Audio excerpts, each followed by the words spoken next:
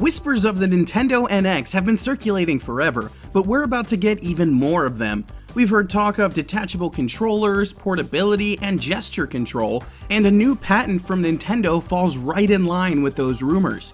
Could we be getting our first real look at the NX? The patent was filed in January 2016, but was recently dug up by NeoGAF.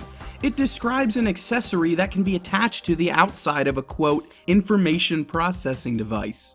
Looking at the picture, it certainly matches the detachable controller rumor. The patent also describes an infrared camera in the device that can read hand gestures or even mimic button presses when there's no controller attached. Maybe flipping the bird will automatically pause the game for you. Patents should always be taken with a grain of salt, but this one is certainly interesting.